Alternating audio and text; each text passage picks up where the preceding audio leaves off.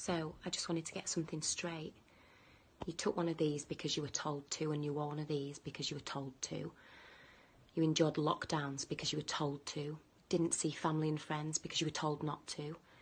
Even though our kids' mental health was going through the roof, but that didn't matter. That wasn't worth defending because we were told to do these things. Yeah?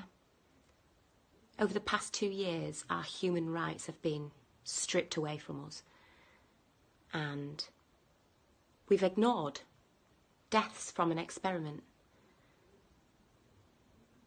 But you didn't defend that because the media told you not to.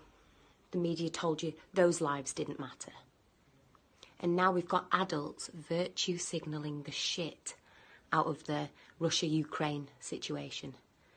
And now you're all for love and peace and humanity and freedom. I stand with Ukraine. No, you don't. You don't stand for fucking anything. You didn't even defend your own freedoms and the freedoms of your children when we needed it the most.